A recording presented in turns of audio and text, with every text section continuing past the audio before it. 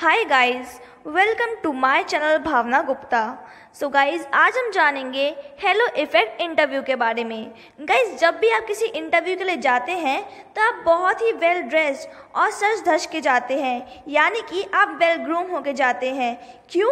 क्योंकि आपको पता है कि एचआर के सामने first impression is the last impression इससे होगा ये कि एच आपकी पर्सनैलिटी से अट्रैक्ट होगा, यानी कि वो आपकी एक चीज़ ड्रेसिंग सेंस को लेके आपसे इम्प्रेस हो गया है।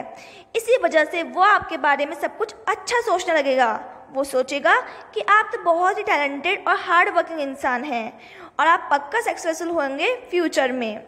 और इसी बेसिस पे हो सकता है कि वो आपको जॉब के लिए सिलेक्ट कर ले। और इस प्रोसेस में वो आपके अंदर जितनी भी नेगेटिव चीज़ें हैं, उन सबको वो नज़रअंदाज करेगा। गाइस इसी को हम बोलते हैं हेलो इफ़ेक्ट जहाँ आप किसी व्यक्ति की एक अच्छी चीज़ को देख के इम्प्रेस हो जाते हैं और उसकी नेगेटिव चीज़ों को नज़रअंदाज करते हैं।